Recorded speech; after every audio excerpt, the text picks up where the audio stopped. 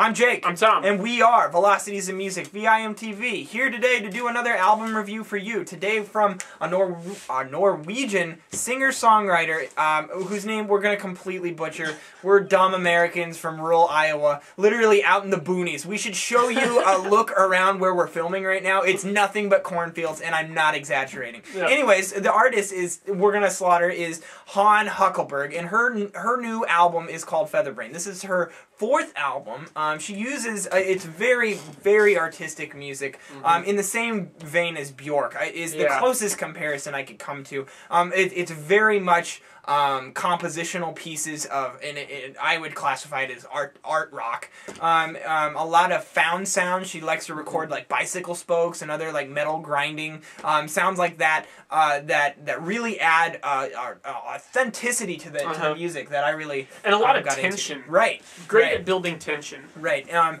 her tracks, some of them meander. Um, they all meander some, but some of them meander more than others. You'll have you'll have tracks that kind of build slowly and maybe don't go anywhere. They just kind of just flow out. And then there's other tracks that have a, a consistent, solid chorus in them, um, a little bit more structure. Um, it- but it's just overall a good variety, and it's very mood oriented. Uh-huh. Um, I think she does a really good job of presenting vocals. Um, but uh, you know, I, I and always I always feel like a vocalist can always project more. Um, rarely do I ever go, "Hey, nice job, vocalist." So that is a criticism I have is that Han could have taken it to the next step by really emoting her voice, pushing her voice to the next level, which um, uh, is something that I think could have added another dynamic. Tom, what was your take on Featherbrain? Well, I pretty much agreed with all the things that you just said. Um, I think maybe I like the vocals a little more than you, Okay. but mostly I just love the blend of sounds. Um, she she's very good at making all of them work together, even if they have nothing to do with each other. Um, and especially there's a very spatial aspect. A lot of things hard pan. You'll only hear them in one ear, um, and it really makes it a, a three dimensional uh, album listen with a lot of depth. Right. Um, you know, maybe not necessarily like emotional depth or or spiritual depth. Maybe you'll find that in Right. here. I don't know, but um, I I personally didn't. I just kind of enjoyed the compositional aspects.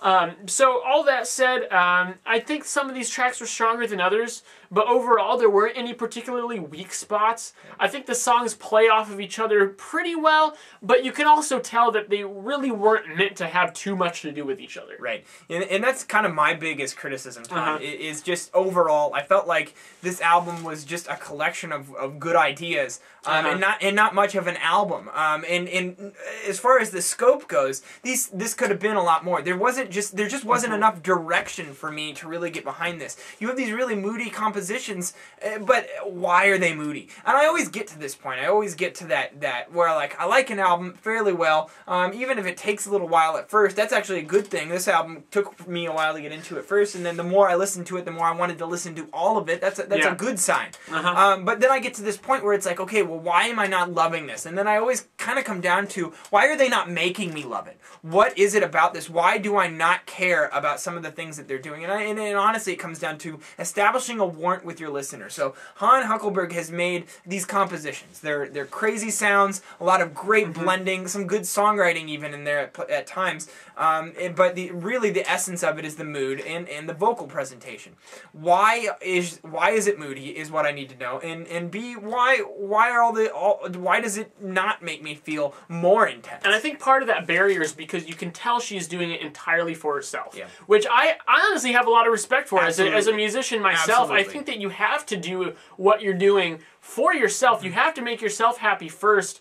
Um, but I feel like she did it to the extreme. I mean, Right. uh, I mean, I, I think that if she took an I- ideas like this, focused them a little more, Right. uh, you know, made them a little more consistent and flow into each other a little better, you know. And when Jake and I say flow, you know, we're not asking for Pink Floyd's Dark Side of the Moon here. We're just asking for ideas that are a little more relevant from track to track. Uh, a little more consistent. And so while I do appreciate the variety here, I feel like there are some opportunities that were missed. Right. And, and and I think that if you're used to a lot of more pop structured music, stuff that is, you know, more brightly colored in sound, um, this this one would be kind of a struggle for you just to jump into. This is a Uh-huh. record that takes a lot of patience. Uh, and and I think that, you know, its general lack of accessibility um, in just trying to pick out all the different sounds and figure out what they are and then noticing how she's building the compositions. Those things things like if you're willing to listen that closely to the music, um, and while that could be kind of a con, I like albums that lack um, a light bit of accessibility because it makes me work harder Yeah. to understand them. And this is an Uh-huh. album that once you start to do that, you can really understand Yeah. what and why she's doing things um, in a certain way to make a song a certain way. And that's something that um, I appreciated. It made it a grower for Yeah. me, and that's something that's always a plus. You really, you really have to appreciate the craft here Right. because she's just Right. like going for you it. know, and some of these moods just are, are so abrasive. They really Uh-huh. just um, can can grip you. But like I said, I want to know why. I want to have a reason to relate with it because then that magnifies that intensity so much. So right now I'm sitting at a 78. Tom, what are you at? I'm meeting you there, 78. 78. It's a good I think album. that's a it's, it's a Mhm. very solid release.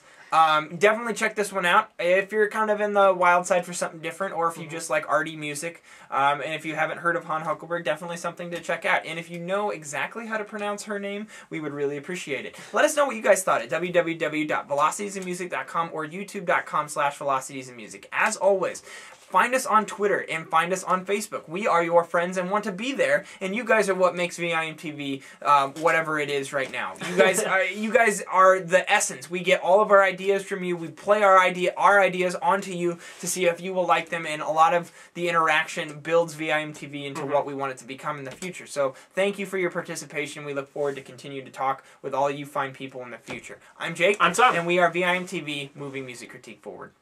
Yeah.